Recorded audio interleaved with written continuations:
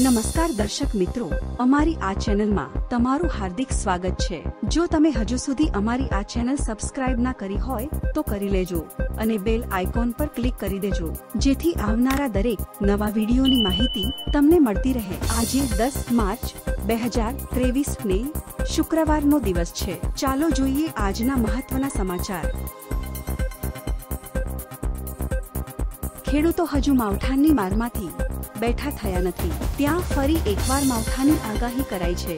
હવામાન વિભાગે વેસ્ટર્ન ડિસ્ટર્બન્સના કારણે તેર માર્ચે કેટલાક સ્થળે વરસાદ પડવાની શક્યતા પણ વ્યક્ત કરી છે. કચ્છ જિલ્લામાં પણ કમોસમી વરસાદ થવાની આગાહી કરવામાં આવી છે. સાથે જ કચ્છમાં કેટલાક સ્થળે હીટવેવની આગાહી કરવામાં આવી છે. ત્યારે આ આગાહીને ધ્યાનમાં રાખીને કચ્છ જિલ્લા કલેક્ટર દ્વારા એક પરિપત્ર બહાર પાડવામાં આવ્યો છે. જેમાં ખેડૂતોને કેટલાક મહત્વના સૂચન કરવામાં આવ્યા છે. કચ્છ જિલ્લા કલેક્ટર કચેરી તરફથી આ કમોસમી વરસાદને લઈને એક પરિપત્ર જાહેર કરવામાં આવ્યો છે. જેમાં જણાવવામાં આવ્યું છે કે ગાંધીનગરના સ્ટેટ ઇમરજન્સી ઓપરેશન સેન્ટર દ્વારા તારીખ તેર માર્ચના રોજ કચ્છમાં કમોસમી વરસાદ વરસશે તેવું જણાવવામાં આવ્યું હતું. સાથે જ આ દરમિયાન ખેડૂતોએ શું સાવચેતી રાખવાની તે અંગે જણાવવામાં આવ્યું છે. કેન્દ્ર સરકારે આજે અગ્નિવીરોને લઈને વધુ એક મોટી જાહેરાત કરી છે. સરકારે બીએસએફમાં ખાલી જગ્યાઓમાં ભૂતપૂર્વ અગ્નિવીરો માટે દસ ટકા અનામતની જાહેરાત કરી છે. આ સાથે ઉચ્ચ વય મર્યાદાના માપદંડમાં છૂટછાટની પણ જાહેરાત કરવામાં આવી છે. જો કે વયમાં છૂટછાટ તેના પર નિર્ભર રહેશે કે તેઓ પ્રથમ બેચનો ભાગ છે કે પછીની બેચનો ગૃહ મંત્રાલયે છ માર્ચે એક સૂચના દ્વારા આની જાહેરાત કરી છે. ગૃહ મંત્રાલયે બીએસએફમાં ખાલી જગ્યાઓમાં ભૂતપૂર્વ ફાયર વેટરન્સ માટે દસ ટકા અનામતની જાહેરાત કરી છે.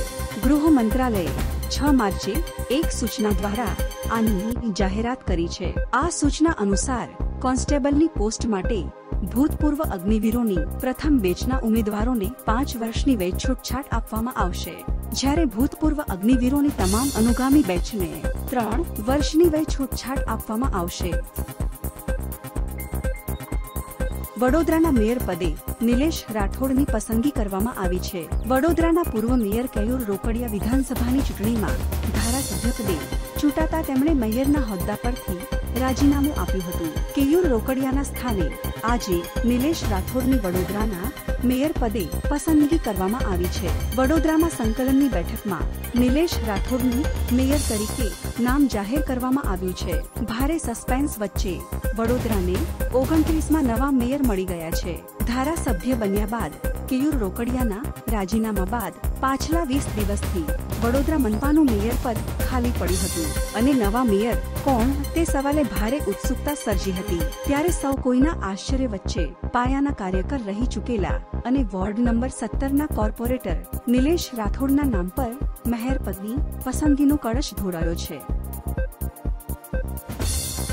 રાજ્યમાં કોરોના કેસ ફરી વધી રહ્યા છે. સુરત શહેરમાં કોરોનાના વધુ બે કેસ નોંધાયા છે. એક વૃદ્ધ મહિલાનું મોત થયું છે. ઘોડદોડ રોડની તથા પાલની મહિલાનો કોરોના રિપોર્ટ પોઝિટિવ આવ્યો છે. ચાલુ મહિને કોરોના નવા પાંચ કેસ નોંધાયા છે. કાપોદ્રાની વૃદ્ધ મહિલાને હોસ્પિટલમાં સારવાર માટે દાખલ કરવામાં આવ્યા હતા. જેનો રિપોર્ટ કોરોના પોઝિટિવ આવ્યો હતો. આ વૃદ્ધ મહિલાનું સારવાર દરમિયાન મોત નીપજ્યું છે. મૃત્યુ પામનાર મહિલા પ્રેશર ડાયાબિટીસ અને કિડનીની બીમારીથી પણ પીડાતા હતા. કોરોનાની ગાઈડલાઈન મુજબ મૃતક વૃદ્ધ મહિલાની અંતિમ વિધિ કરવામાં આવી હતી. કોરોનામાં જેનું મોત થયું તે મનપાના વરાછા જોમ એમાં કાપોદ્રા ખાતે રહેતી સાઠ વર્ષની સ્ત્રીને છેલ્લા બાર દિવસથી શ્વાસ લેવામાં તકલીફ અને પગમાં સોજાની તકલીફ હતી. આથી સારવાર માટે હોસ્પિટલ ગયા હતા, જ્યાં ટેસ્ટ કરતા પોઝિટિવ આવ્યા હતા. દર્દીને ડાયાબિટીસ, પ્રેશર અને કિડનીની જૂની ગંભીર બીમારી હતી. તેઓનું સારવાર દરમિયાન હોસ્પિટલમાં મોત નીપજ્યું હતું. તેમના સંપર્કમાં આવેલા ઘરના સાત સભ્યોના ટેસ્ટ કરાયા હતા, જે નેગેટિવ આવ્યા છે. સૃષ્ટિ રૈયાણી હત્યા કેસમાં તારીખ પડી છે. જેતપુર સેશન્સ કોર્ટ ખાતે દલીલો થઈ પૂર્ણ થઈ છે. જ્યારે આગામી તેર તારીખે કોર્ટ ચુકાદો સંભળાવશે. સાત તારીખે આરોપી જયેશ સરવૈયા દોષિત થયો છે. નોંધનીય છે કે શહેરના જેતલસર ગામે સોળ માર્ચ બે હજાર એકવીસના રોજ ધોરણ અગિયારમાં અભ્યાસ કરતી સૃષ્ટિ રેહાણીની હત્યા છરીના ચોત્રીસ ઘા ઝીકીને કરવામાં આવી હતી.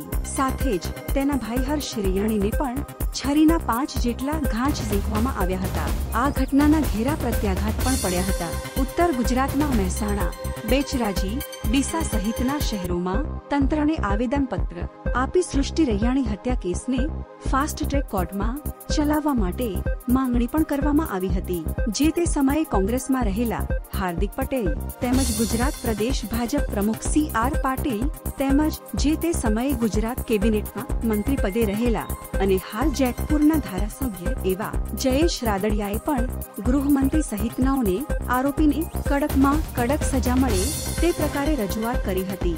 આ સમગ્ર મામલે આખરે બે દિવસ પૂર્વે રાત્રે અગિયાર કલાક ત્રીસ મિનિટ વાગ્યે આસપાસ સેશન્સ કોર્ટના જજ આર આર ચૌધરી દ્વારા આરોપ જયેશ ગિરધર સરવૈયાને સૃષ્ટિ રૈયાણી હત્યા કેસમાં દોષિત જાહેર કરવામાં આવ્યો હતો. બે વર્ષથી કોરોનાના ભયના ઉઠાર હેઠળ જીવતા આપણે જ્યાં રાહતનો શ્વાસ લીધું કે તરત જ દેશના અનેક રાજ્યોમાં ઇન્ફ્લુએન્ઝાનો પ્રકોપ વધી રહ્યો છે. ચિંતાની વાત એ છે કે એચ ત્રણ એન બે વાયરસના કારણે અત્યાર સુધીમાં બે લોકોના મોત થયા છે. આ વાયરસને કારણે હરિયાણામાં એક અને કર્ણાટકમાં એકનું મોત થયું છે. દેશભરમાં એચ ત્રણ એન બે વાયરસના નેવું કેસ છે. અત્યાર સુધીમાં એચ એક એન એકના આઠ કેસ નોંધાયા છે. ઇન્ફ્લુએન્ઝા ત્રણ પ્રકારના હોય છે. જેમ કે એચ એક એન એક એચ ત્રણ એન બે અને ઇન્ફ્લુએન્ઝા બી જેને યમગાતા કહે છે. હાલમાં ભારતમાં બે પ્રકારના ઇન્ફ્લુએન્ઝા વાયરસ એચ એક એન એક અને એચ ત્રણ એન બે ની હાજરી છે. સમગ્ર દેશમાં ઇન્ફ્લુએન્ઝાના કેસ ઝડપથી વધી રહ્યા છે. આમાંના મોટાભાગના કેસો ફક્ત એચ ત્રણ એન બે ના છે. આ વાયરસને હોંગકોંગ ફ્લૂ પણ કહેવામાં આવે છે. સામાન્ય રીતે ઇન્ફ્લુએન્ઝામાં ઉધરસ, શરદી, શ્વાસ લેવામાં તકલીફ અને કફ જેવી ફરિયાદો હોઈ શકે છે. દર્દીઓએ ગળામાં દુખાવો, શરીરમાં દુખાવો અને ઝાડા થવાની પણ ફરિયાદ રહે છે. કેન્દ્ર સરકાર દ્વારા પહેલી એપ્રિલથી દાગીનાનું વેચાણ કરતા તમામ જ્વેલર્સ માટે hallmarking unique ID compulsory કરવામાં આવ્યું છે.